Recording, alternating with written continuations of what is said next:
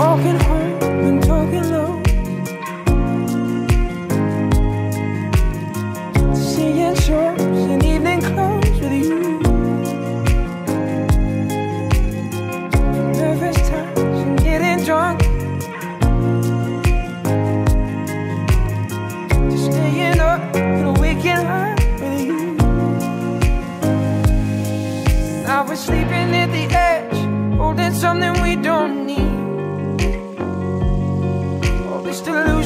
our heads is gonna bring us to our knees.